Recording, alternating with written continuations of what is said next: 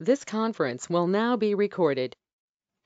Уважаемые коллеги, я приветствую вас на семинаре учебного центра «Специалист» при МГТУ имени Баумана, который посвящен курсу «Помощник руководителя», курсу, который предлагается данным обучающим центром. Мы поговорим с вами вкратце о том, что будет происходить на данном курсе, чему он посвящен. В течение 45 минут мы с вами эти вопросы обсудим, и я отвечу на ваши вопросы, если они у вас появятся. Прежде всего, несколько слов обо мне. Меня зовут Левина Светлана Марковна. Я являюсь преподавателем Центра «Специалист». А, у меня очень большой опыт в той сфере деятельности, которую я предлагаю, которой я занимаюсь. А, все позиции в этой сфере мне знакомы пройдено на личном опыте, в том числе и а, занимаю и занимала руководящие позиции и а, по всем направлениям деятельности а, работала. То есть опыт у меня весьма обширный. В а, центре специалист я представляю линейку курсов, которые посвящены а, направлениям делопроизводства, электронного документооборота и архивного дела. Это курс делопроизводства, документационное обеспечение управления, курс делопроизводства уровень 2, электронный документооборот и система электронного документооборота, курс архивное дело, а также курс помощник руководителя, о котором мы сегодня с вами и будем говорить в течение нашего семинара. А, курс помощник руководителя, о котором идет речь, ближайшая группа начнется 28 марта, воскресенье. Несколько слов о самом учебном центре специалист. А, центр весьма с большой историей. 29, а, почти три десятка лет он учит людей. А, большое количество обучившихся выпускников, большое количество корпоративных клиентов, преподавателей и курсов, оборудованных офисов и учебных классов. То есть э, Центр специалист предлагает э, широкий спектр разных курсов. А большей частью это курсы именно компьютерные, курсы, связанные с определенными программами, науками, но также курсы э, достаточно широкого профиля, в том числе и курсы линейки дел производства, о которой мы с вами говорим.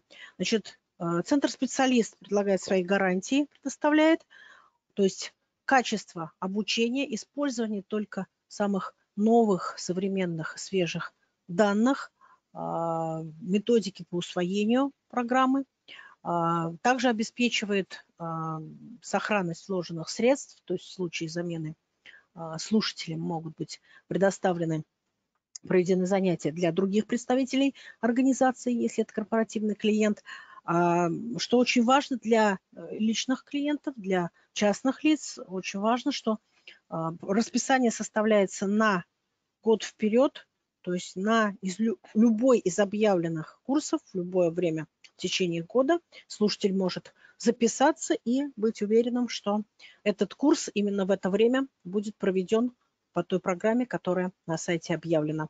Ну и для э, занятия ведутся, безусловно, так было и раньше, и так, естественно, есть и теперь. Занятия ведутся и в очной форме, занятия ведутся и в э, виде вебинаров. Ну, вот так, как мы сейчас с вами занимаемся. Э, это удаленная форма, но для очных слушателей обеспечены все меры безопасности приняты. Значит, о чем мы будем с вами сегодня говорить? Мы говорим о курсе «Помощник руководителя». Кто же это такой в системе координат организации? Что это за позиция? А, чем он отличается от других сотрудников, чем он выделяется, какие у него есть а, особенности, конкретные специфические черты именно этой позиции. А, может быть, это правая рука руководителя, помощник, то есть тот, на которого можно положиться. Или это просто ничтожный такой персонаж, который а, приносит кофе, больше ничего не делает. То есть а, какую позицию этот человек занимает, А, что нужно сделать, какие ступени пройти, а, какую, на какую лестницу подняться для того, чтобы а, достичь высот в профессии и какими навыками, данными, знаниями, умениями нужно обладать для того, чтобы твердо позиционировать себя в этой позиции и быть полностью уверенным в своих действиях и поступках. Почему тема актуальна? Ну, безусловно, ни для кого не секрет, что сейчас широко развиваются высокие технологии, искусственный интеллект, и все, они, все это входит в нашу жизнь, так сказать, семимильными шагами, а, и уже раздаются такие голоса, и есть уже, скажем так, прецеденты, когда вот проявление этого искусственного интеллекта а, заменяют или пытаются заменить а, людей, живых людей при выполнении каких-то определенных работ, обязанностей и так далее. Возникает, естественно, вопрос. А, огромная армия, когорта помощников, секретарей, ассистентов, референтов и так далее, то есть тех, кто осуществляет поддержку руководителя и организации в целом, не грозит ли им участь сойти со сцены и занять какие-то совсем уже или просто кануть в лету и э, уступить место искусственному интеллекту, высшему разуму и так далее. Э, может быть, пока, сначала покажется это э, угроза, это перспектива, скажем так, может показаться на первый взгляд смешной и незначительной, но тем не менее уже есть искусственные такие помощники, наверняка все знают Алису, да, и есть еще искусственные помощники, например, в Сбербанке есть Афина, вот, то есть не, есть, нет ли опасности, что эти структуры заменят реальных помощников, реальных людей, которые эти функции осуществляют. А, и для того, чтобы немножко себя обезопасить от такой ситуации или хотя бы предвидеть какие-то дальнейшие действия, события, мы будем на курсе достаточно подробно говорить о том, а, какие же функции входят в обязанности помощника а, и что он должен делать, чтобы таких угроз избежать, во всяком случае попытаться. Ну и, естественно, сейчас, опять же, ни для кого не секрет, есть такой аспект, как удаленная работа. А, он вдруг появился и вошел в связи с неприятными событиями в виде пандемии, вошел в нашу жизнь вдруг а, резко вторгся, что называется, а, хотя это было в определенных формах и раньше, но сейчас это явление повсеместное. Вот возникает, естественно, вопрос, как в таких условиях организовать работу офиса – и поддержку руководителя, а, обеспечить его деятельность информационную, документационную, организационную и так далее. То есть все то, что входит в обязанности помощника, как это обеспечить а, в условиях удаленной работы. А, с чего мы начнем, на что сделаем упор? Ну, когда-то помощник выглядел примерно вот так. Печатал на машинке, и являлся украшением офиса. А, скорости были другие, задачи были другие, темпы были другие, и помощник или любой другой сотрудник и исполнитель, уж если на то пошло, мог позволить себе над одним документом работать целый день, печатать его, перепечатывать, переписывать и так далее. Руководитель тоже мог продиктовать одно, переписать другое и так далее. Сейчас таких возможностей чаще всего нет, потому что скорости очень велики. Поэтому, а, естественно, меняются и подходы, и требования. О чем, с чего начинать? А, безусловно, желательно, чтобы а, тот, кто собирается этим заниматься, представлял себе, имел представление об основах делопроизводства архивного дела. Безусловно, на курсе мы этих вопросов коснемся в той или иной степени, потому что мы без этого никак не обойдемся. Это очень большая часть документационного обеспечения, это очень большая и значимая часть работы руководить, э, помощника руководителя, но желательно, чтобы определенное представление об этом было. Обязательно структура и специфика деятельности организации. А, здесь даже есть определенные требования, которые сформулированы в таком документе, который называется «Профессиональный стандарт. Специалист по организационному и документационному обеспечению управления организацией». А, стандарт, на который мы будем опираться и равняться который, там сформулированы требования, что должен, как должен помощник себя ощущать в организации, в том смысле, что он должен иметь не менее трех лет опыта работы по управлению деятельности организации. Это очень важно, потому что этот человек должен разбираться в том, что происходит в организации, чем она занимается, и быть не просто э, помощником э, абстрактным, а еще и углубленным, по возможности погруженным, достаточно хорошо осведомленным о том, чем организация занимается. А, мы будем говорить о правилах организации деловых контактов, протокольных мероприятий, то есть обо всех тех аспектах, которые касаются этикета. Это достаточно обширный, опять же, пласт работы помощника. И здесь есть, так как и в любой деятельности, здесь есть очень много нюансов, связанных с определенной, в том числе и спецификой организации и стилем управления организацией. И, конечно, мы здесь не обойдемся без основ психологии и конфликтологии. Конечно, помощник никто не требует, чтобы помощник имел психологическое образование и что-то в этом духе, но э, желательно все-таки иметь возможность разбираться более-менее вот в таких конфликтных ситуациях, уметь настраивать и устанавливать взаимоотношения служебные с руководителем и с э, работниками организации для того, чтобы избегать и всячески нивелировать вот эти вот конфликты, которые могли бы образоваться, если бы ситуация была другой. А, что поможет узнать курс?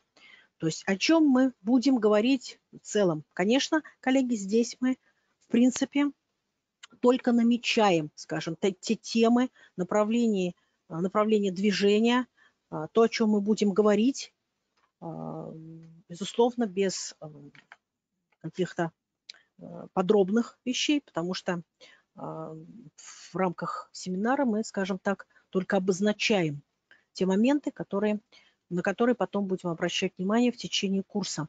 Поэтому здесь мы хотим подчеркнуть именно вот эту специфику деятельности так ли все просто в работе помощника руководителя, как это кажется непосвященным. Ну, есть такая специфика, говорят, что такая ситуация, что вот когда кто-то что-то делает, человек какую-то работу осуществляет, тот, кто смотрит со стороны, ему либо непонятно, что человек делает, либо ему кажется, какой ерундой он занят. Так каждый может. Что это за работа? В общем, ничего здесь особого нет, это каждый справится.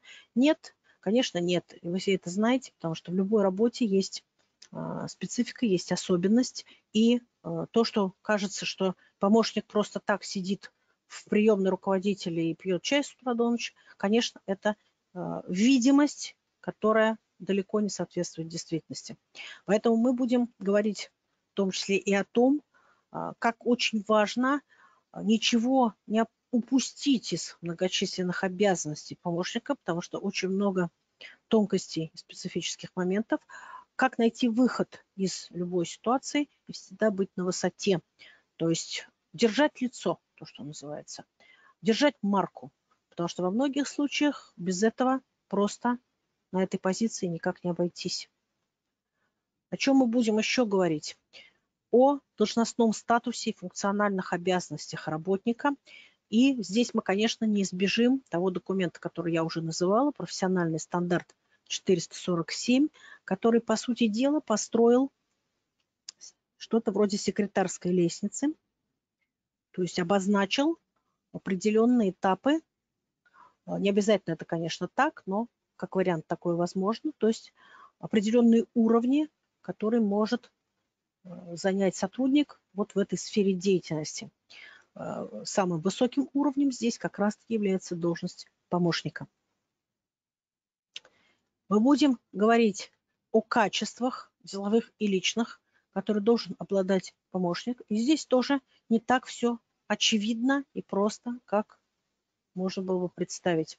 Мы будем говорить о том, как а, осуществляется документационное и информационное обеспечение руководителя.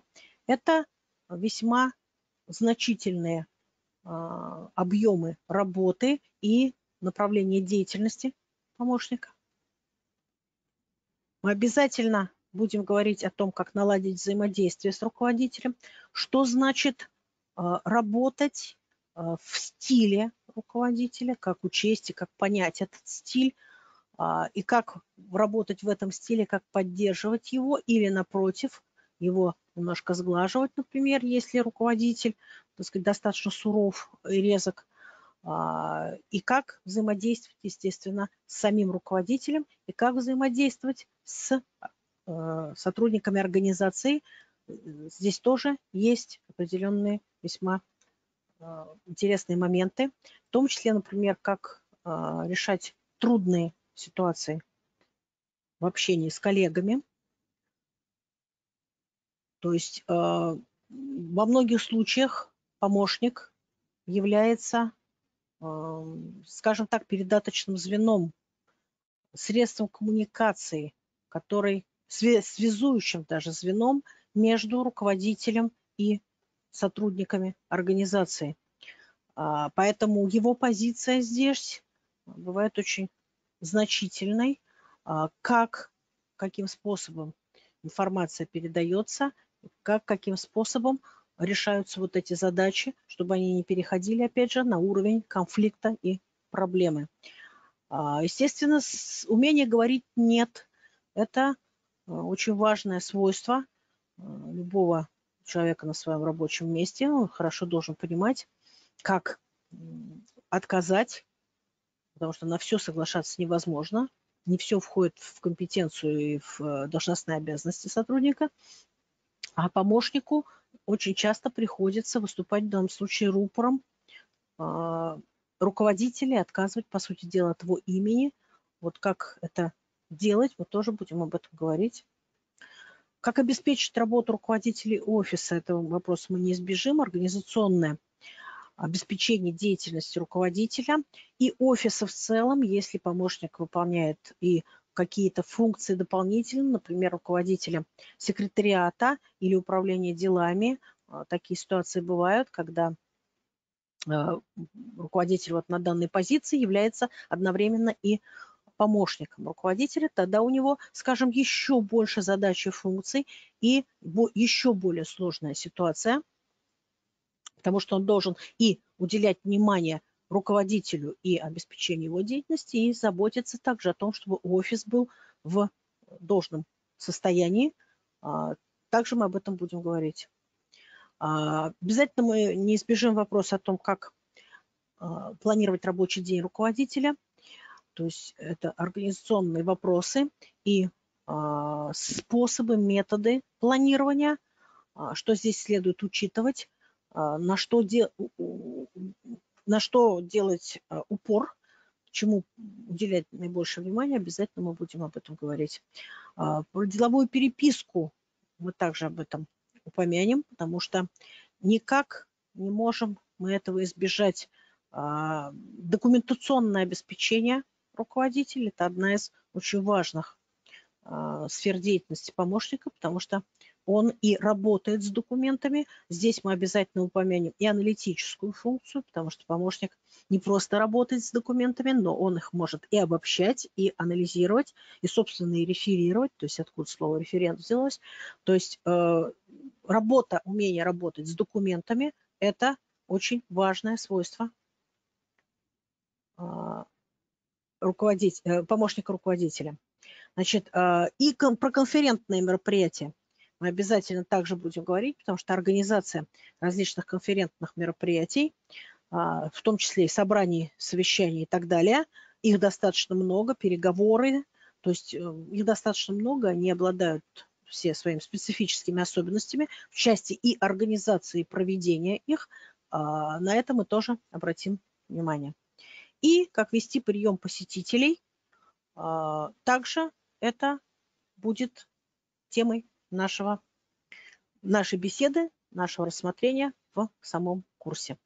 Ну и появился такой помощник, действительно человек на все руки, то есть который одновременно делает все и по телефону говорит, и документы пишет, и составляет что-то, и организовывает, и так далее. То есть это очень, э, скажем, насыщенная должность. Значит, и здесь мы, конечно, не можем э, не э, затронуть определенные, ну, скажем так, интересные моменты, специфические аспекты, которые здесь следует выделить, потому что, как уже было сказано, это а, весьма а, такая должность, а, включающая в себя очень много направлений деятельности. Но следует отметить также, что нет у нас какой-то структуры, организации, учебного заведения, которая предлагала бы высшее образование по этой сфере. То есть выйти, получить диплом помощник руководителя такой возможности пока нет. Поэтому приходить к этой ситуации, решать эту задачу, каждый, э, тот, кто хочет этим заниматься, он для себя решает сам. А, но на что мы можем ориентироваться здесь? Мы, как уже говорилось, упоминалось, мы будем ориентироваться в том числе и на профстандарт. То есть э, там изложены определенные требования и к образованию, и к компетенциям, и изложены очень подробно все трудовые функции, то есть что должен делать а, соответствующий сотрудник на соответствующей позиции, поэтому на них можно ориентироваться, и это мы обязательно будем рассматривать. А, надо помнить о том, что помощник руководителя – это не сам руководитель. То есть это в организациях действительно в многих случаях бывает очень важная, чуть ли не ключевая позиция.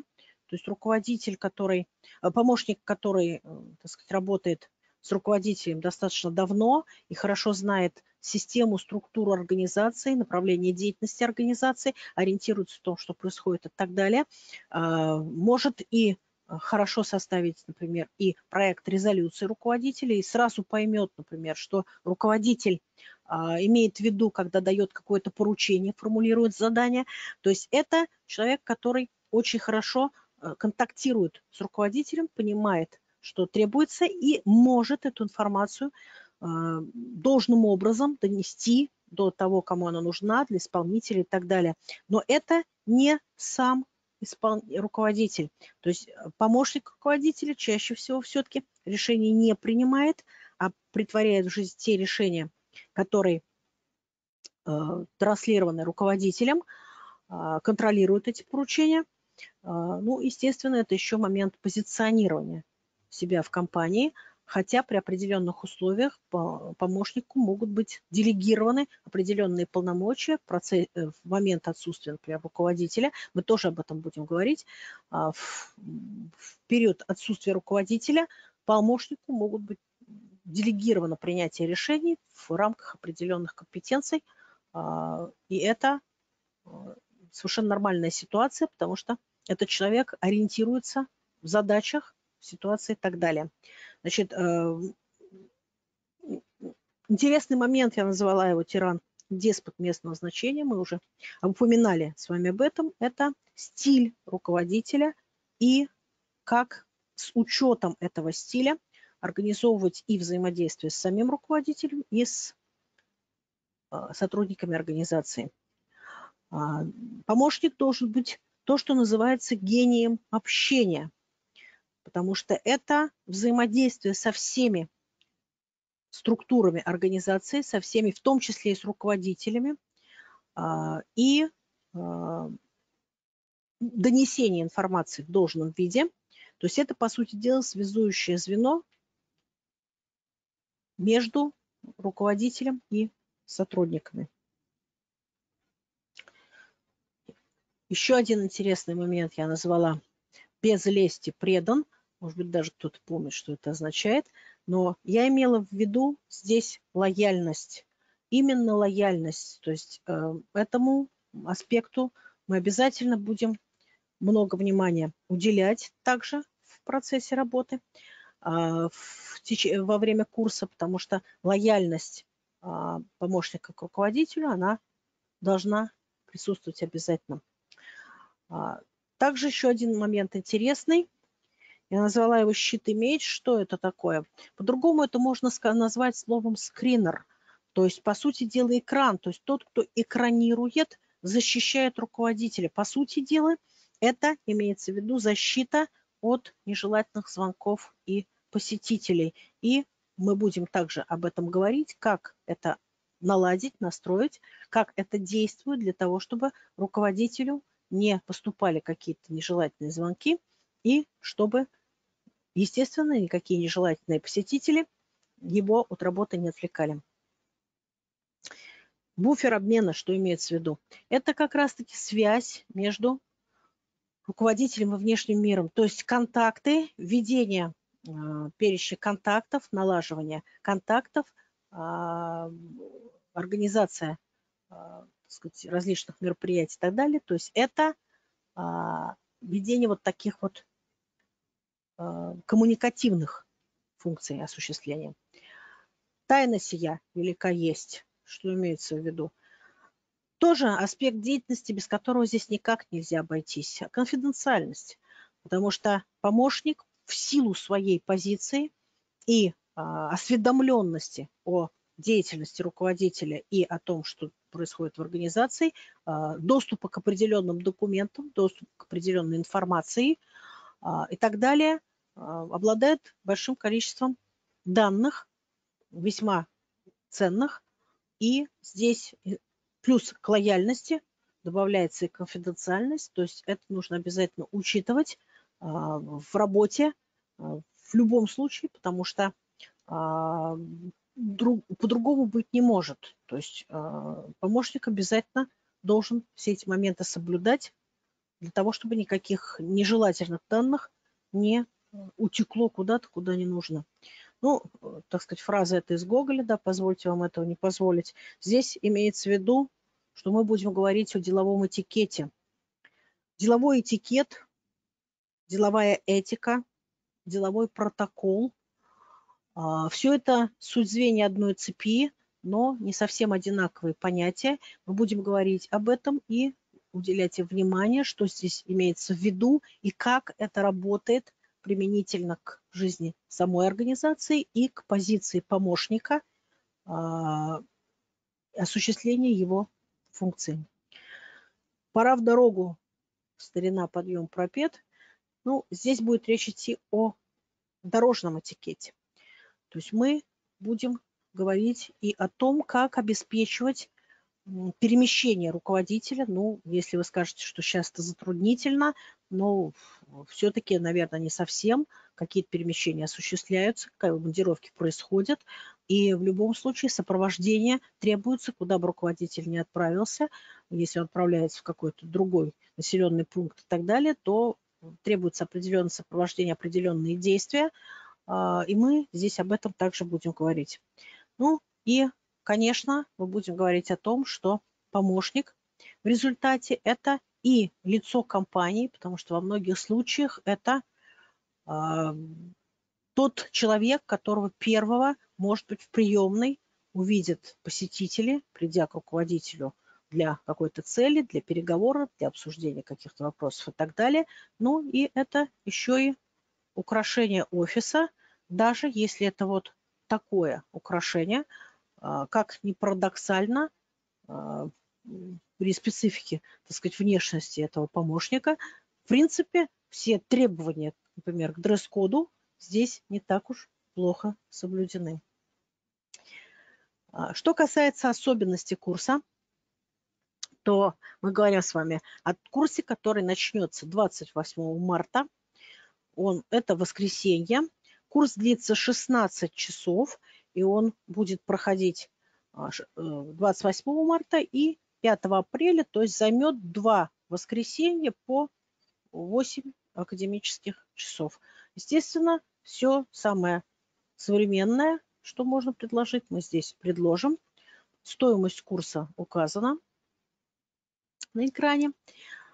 А, будет выдан в результате документ о повышении квалификации или соответствующее свидетельство. И, как видите, довольно обширный а, круг навыков и знаний, представлений, компетенций, а, которые нужно иметь, о которых нужно иметь представление. Может быть, не все сразу так сказать, появится вдруг по волшебству и образуется, но всегда лучше знать о том, что требуется и что может меня ждать, и какие требования ко мне могут предъявить, если я буду претендовать на какую-то позицию, и, возможно, нужно будет подумать, если есть такое желание, а, вообще интересно ли мне это, то есть а, хочу ли я, в принципе, этим заниматься, а если да, то в каких направлениях я еще могу двигаться, что еще я могу узнать для того, чтобы повысить здесь свой уровень и, естественно, свою конкурентоспособность. Поэтому здесь я хочу показать вам место данного курса в цепочке соответствующих курсов, а, с чем еще, с чем он связан и так неразрывным образом, и а, куда еще можно двигаться здесь, и какие еще компетенции повысить или приобрести новые. Безусловно, как мы говорили, курс связан с цепочкой курсов, связанных с делопроизводством, потому что без документационного обеспечения руководителя обойти здесь не удастся. Мы говорим, естественно, коллеги, о бизнес-помощниках. Мы упомянем немножко в курсе, мы упоминаем также и о личных помощниках, но это немножко другое, другое направление деятельности. Мы говорим о бизнес-помощниках, то есть те а, помощники, которые работают по направлению, по служебным делам руководителя, а, конечно, без документов мы здесь никак не обойдемся. Документационное обеспечение, то, что нам нужно. Естественно, неплохо бы э, владеть Word, неплохо бы владеть, так сказать, хотя бы начальными уровнями Excel, также PowerPoint, ну и любые другие программы, любые другие уровни, да, но это мы выделяем, скажем так, как, скажем, базовый такой минимум, потому что PowerPoint тоже очень может понадобиться, ведь презентации, а, помощник, как э, функциональный а, сотрудник, который осуществляет в том числе информационно-аналитическую поддержку деятельности руководителя, он также может составлять и соответствующие документы, в том числе и презентации для выступлений и так далее. То есть обладать, э, владеть навыками PowerPoint, составление документов – это совсем не бесполезное знание.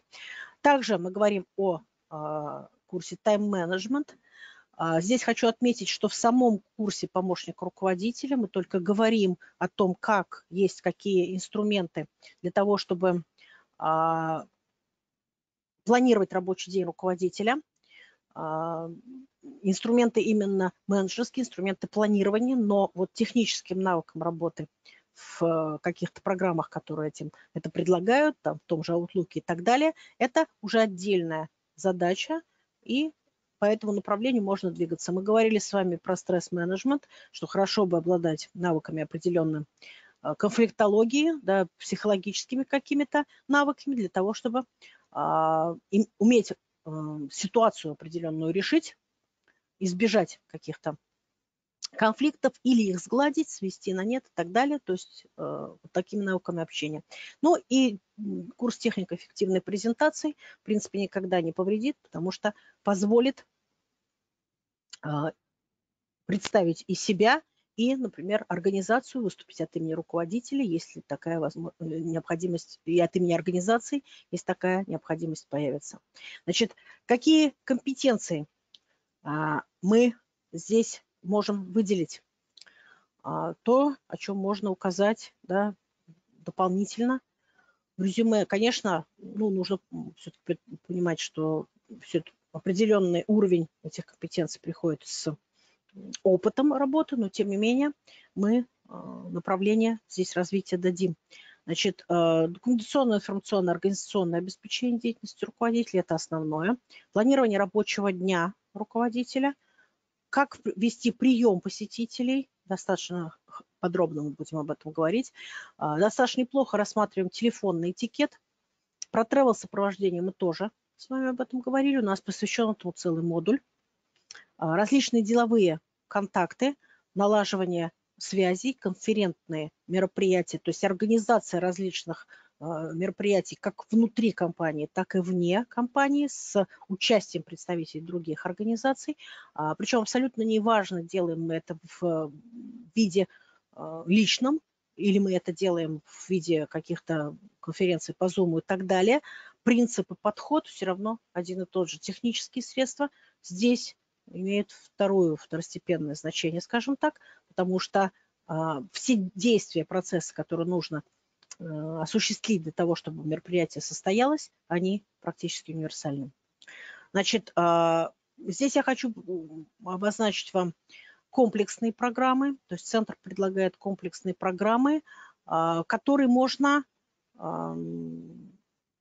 сформировать из тех программ, которые, и которые я назвала, и из других программ по желанию а, слушателя, то есть если вы хотите, например, какую-то комплексную программу, а, чтобы повысить свои компетенции, а, и необходимо развитие какое-то дополнительное, то а, центр предлагает формирование вот таких комплексных программ. Естественно, здесь есть определенные бонусы, и в части оплаты тогда будет определенные скидки предложены, и комплексный подход к решению каких-то проблем, то есть это даст более широкий обзор, скажем, каких-то тем и задач, тем, чем если бы это был один одиноко стоящий, так сказать, курс одиночный. Здесь более широкое представление, и, конечно, это обобщенный сертификат, в котором более четко обозначены э, ваши преимущества. Значит, э, способ э, обучения Центр предлагает достаточно много вариантов обучения. А, естественно, и очное, и очно-заочное, и индивидуальное, то есть полностью подбирается программу под слушателя. Способ вебинара, а, ну так как вот мы сейчас с вами работаем. И это еще открытое обучение, то есть это а, обучение в своем темпе, в том месте, где вам это удобно, но преподаватель всегда на связи и может подсказать какие-то, то есть прослушивание ведется а, готового записанного курса. Преподаватель же в живом виде присутствует на связи и может какие-то вещи пояснить, а, дать комментарии, объяснить что-то и так далее. Значит, хочу также отметить, что а, центр-специалист предлагает такой подарок. Значит, а, каждому слушателю сегодняшнего семинара дается возможность получить бесплатную консультацию по профессиональному развитию. Для того, чтобы ею воспользоваться, нужно позвонить по телефону или написать по электронной почте и произнести промокод Иду вперед. А, контактные данные центра специалист, они представлены. Электронная почта и телефон, по которому все интересующие моменты дополнительно можно обсудить и информацию получить. Есть какие-то вопросы, коллеги?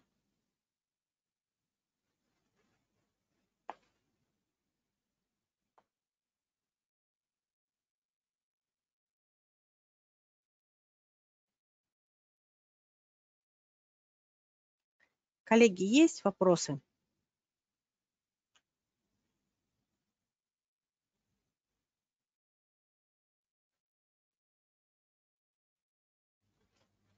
Может быть, что-то нужно пояснить, конкретизировать?